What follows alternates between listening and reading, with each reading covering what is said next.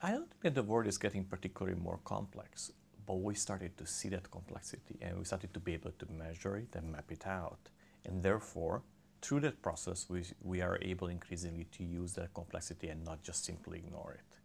The social network has, you know, thousands of years of history.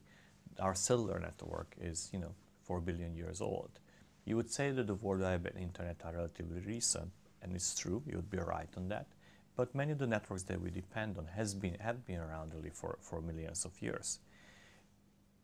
We have gained the need to affect these networks and the ability to do so, and therefore we're discovering this complexity.